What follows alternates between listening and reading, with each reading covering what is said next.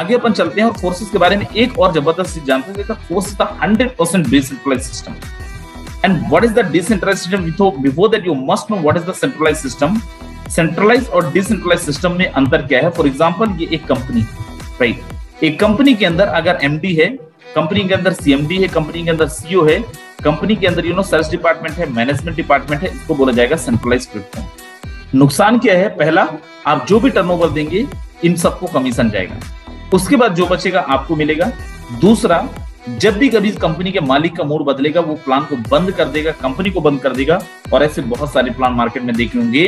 Company बहुत अच्छा चल रहा था, जैसी आपकी कमाने की बारी आई कंपनी ने ताला लगा के फुर हो गया। मेरे दोस्त डिसेंट्रलाइज प्लेटफॉर्म का मतलब क्या? फोर्सेस को एक बार बनाने के बाद ब्लॉकचेन के अंदर डिप्लॉय कर दिया गया।